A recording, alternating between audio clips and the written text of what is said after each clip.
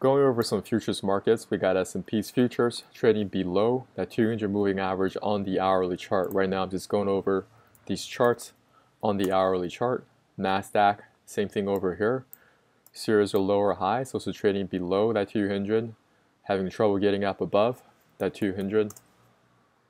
Dow futures, also trading below 200 moving average on the hourly chart. Russell 2000, same thing over here. Now we got a chart that stood out for me, Chipotle Mexican Grill. Right now, this one is already trading below the 200 moving average on the daily chart. On the hourly chart, also trading below that hourly chart 200 moving average. What I'm looking for, I'm looking for a pullback.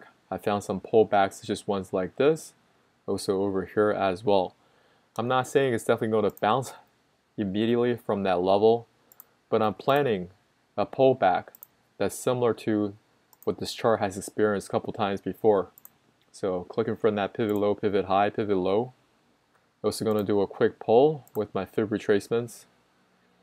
When I do a pull, I do have a 50% retracement that is stacking over one of the symmetry resistance areas that I just mapped out. So for Chipotle Mexican Grill, looking for some movement back to the upside. This area to hold potential error resistance from here, more downside correction. Also wanted to just go over S&P's ETF, looking great on the daily, but on the hourly, showing weakness. Okay, right now we're still on the hourly. Going over to Nasdaq. Nasdaq's also with a series of lower highs and also lower lows on this one. Diamonds right now on the hourly chart.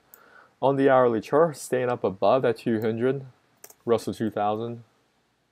This one's already been trading below the 200 moving average on the hourly chart. So we got to just take it one day at a time, recognizing that there is some weakness in the markets. And when there's weakness, I want to look for some opportunities, uh, looking for shorting opportunities with charts that are exhibiting weakness already, such as Chipotle Mexican Grill. Now, if it doesn't start to exhibit this price pattern, if it doesn't start to retrace to my symmetry resistance, potential error resistance, and start selling off, nothing for me to do on these charts. If you'd like to learn how to find high probability setups using Fibonacci analysis, check out my course in the descriptions below. If you haven't subscribed to our channel, subscribe now, hit that notification button. Our first goal is a thousand subs.